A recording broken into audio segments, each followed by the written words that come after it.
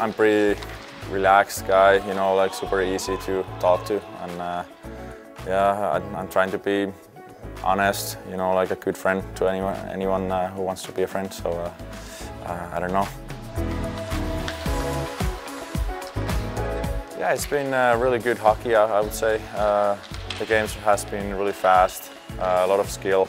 Every team can beat anyone, so it's been really good so far. My game is more like a playmaking game. Uh, I'm trying to to pass the puck and uh, I, I try to create as as much as I can in the O-zone and uh, that's been my game all my career. But uh, yeah, I don't see any problem uh, scoring scoring goals as well.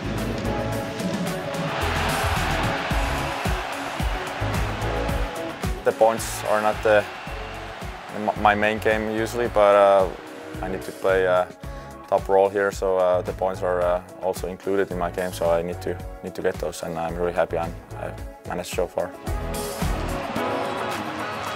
I also played football for a very long time. When I was 14, 15, I had to make the decision to trying to make the call in the hockey. And uh, after 18 World Championships, we had a really good team and a lot of, a lot of uh, good uh, friends from that team. So uh, after that tournament, we won a gold gold medal, and uh, I think uh, that was just before the draft. And yeah, I think that was the time when I was really thinking that I might have a chance to play a pro. I, I think the championship teams that uh, win a lot of trophies are uh, really close to each other. Here we have really good, good group of guys and uh, I think I'm, I'm really happy to be here with these guys.